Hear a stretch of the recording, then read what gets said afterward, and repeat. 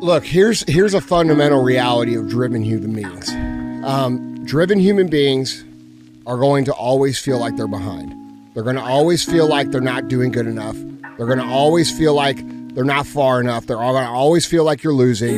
Look, winning, this is how it feels. 90% of the time, you're going to feel like you're getting your balls kicked in. All right? 8% of the time, you're going to be confused and you're frustrated. 2% of the time, you actually win. And those moments come and go, and then you're back in the 90%. And that's the reality of a winner's life.